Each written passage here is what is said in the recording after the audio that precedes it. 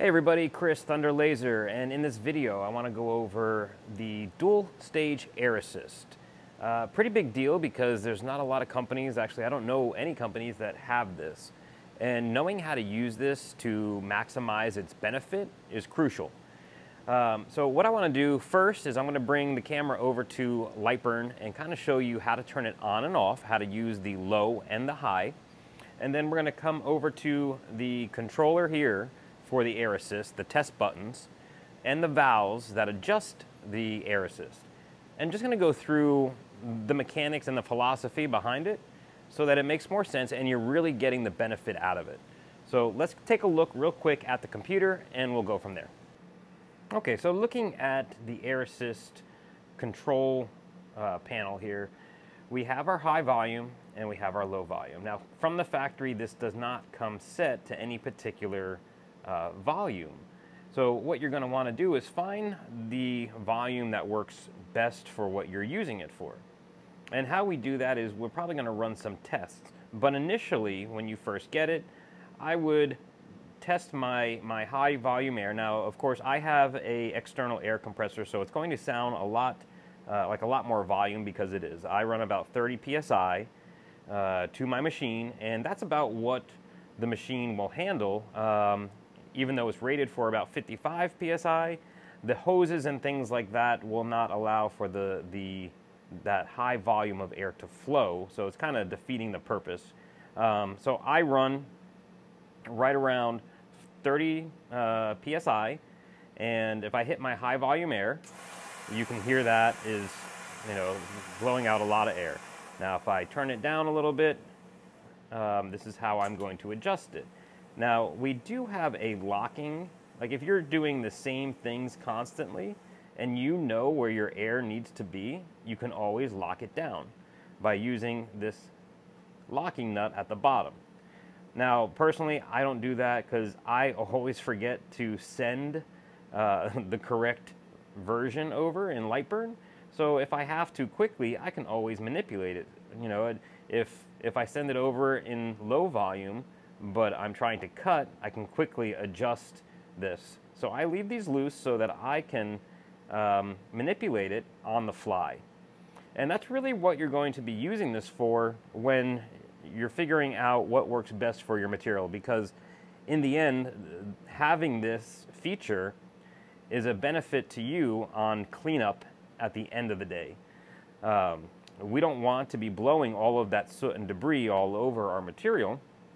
So we're adjusting our low volume air to the point where we have just enough that there's no flames um, and, and we're not pushing the debris everywhere. And one of the things I like to do, and what I tell most people to do is, if we, if we press on the button and put our finger underneath, uh, of course that red dot is not gonna hurt you. Uh, we're just hitting our green button putting our finger under there and feeling the amount of pressure. We're trying to create positive pressure of air in the head so that none of the smoke, soot, debris comes up and hits the lens, making it dirty and causing you to have to clean it or replace it more often. So we want some air. Uh, we really never ever want zero air. So if I put that there, I can see that there is pressure in there. It's not a lot, but having that amount of pressure will save my lens, but having so little amount of air is going to make uh, quite possibly my engravings come out so much better that I don't have to clean them when I'm done. Now the opposite is true for high volume air.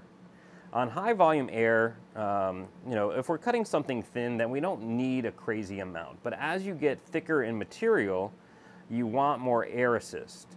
And the reason being is we're basically, if you can put this laser beam on a wire and see it, we're cutting with a wire of fire. Um, and we're trying to put the fire out as it cuts through. And the quicker we put the fire out with air and cool down the surface area, the cleaner our cut is going to be. And we're also moving all of that debris out of the way as we're cutting. So it serves a couple purposes. Um, you know, maintaining our lens, cleaning the surface, um, and pushing through the material. So there's a, a couple different reasons we want the high volume air. And if I push on my high volume air, um, I can see that that's much higher volume. And if I turn it up a little bit, um, I know that I have about 30 PSI on my, my tank coming to this machine. And that's all it's going to get is that amount of air. Now, I'm gonna run a quick test pattern so that you can see the difference. And this is how you will probably test this air um, to find out where you need to be for your material. And once again, I do wanna mention that I personally do not lock these washers back down. I leave them up to the top so on a whim, if I need to, I can adjust these accordingly. Um, you know, you don't have to lock it down like this one is. This can be up. And it is clockwise is less air, counterclockwise, moving the, uh, the valve up is opening the valve. Uh, think, think of the valve uh, like a plunger, and as we pull it back up, it is away and allowing air to flow through, and then uh, as we come down, it's closing off that hole. So all the way out is open, all the way down is closed.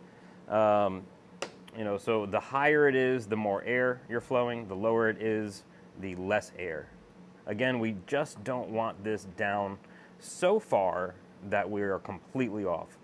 Uh, by putting our finger underneath that nozzle and testing the air pressure is really the best way to find out that it is flowing.